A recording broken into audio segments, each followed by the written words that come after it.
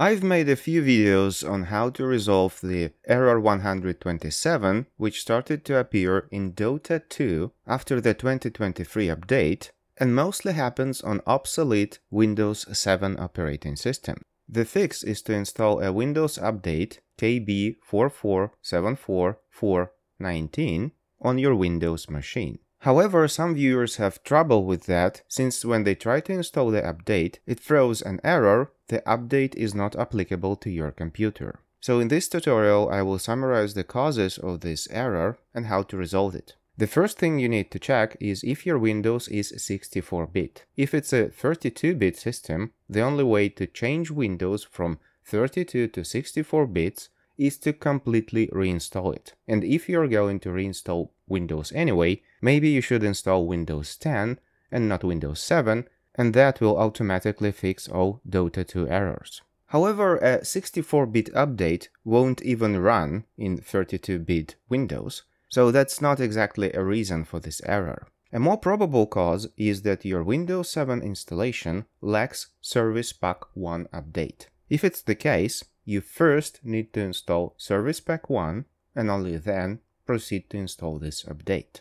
If you have Service Pack 1 installed, but still get this error that the update is not applicable, make sure that in your Windows services, not only Windows Update service is running, but also Windows Installer service and Windows Modules Installer service are also running. These three are required to install updates in Windows. If they are stopped, you will have to start them. And the last reason why you may not be able to install this update is that for some reason KB4474419 is somehow connected with KB3033929.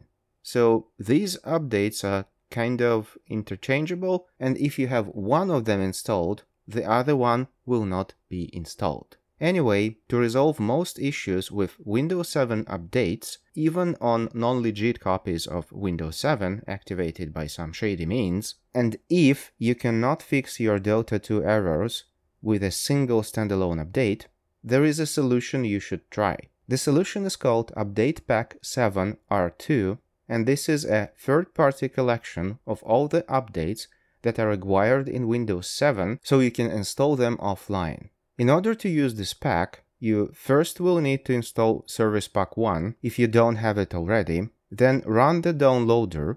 It will download a pack, which is a quite a large file, about 700 megabytes, and after that run the downloaded update. It will create a restore point in Windows, just in case something goes wrong, and it will install all the required updates and you will be able to fix the Dota error 127.